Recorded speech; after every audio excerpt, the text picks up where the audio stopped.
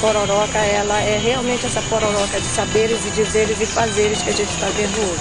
Do ponto de vista educativo, isso permite aos professores, aos, aos alunos, aos visitantes, é, entrar em contato com a, com a diversidade biológica da Amazônia, é, aprofundando saberes sobre essa, esse conhecimento.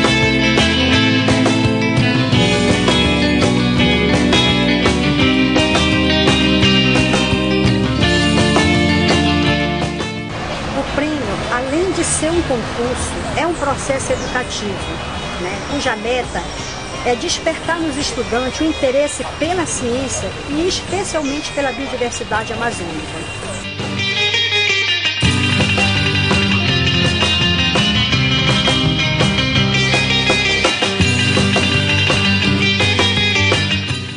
participação na Pararaca da Biodiversidade vem no sentido de trazer uma mostra do que pode ser feito em termos de, de pesquisa em relação ao prêmio Macilares, divulgar esse prêmio.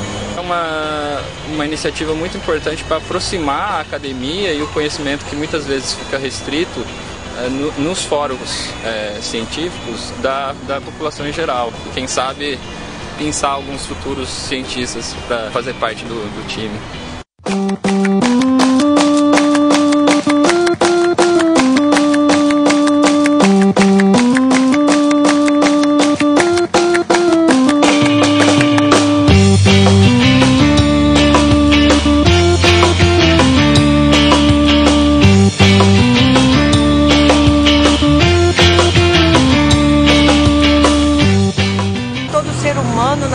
Está inserido na, na, natureza e usa a diversidade de várias formas. A gente não percebe, mas é, vários, todos, a nossa comida, os remédios, tudo isso parte do que existe na natureza.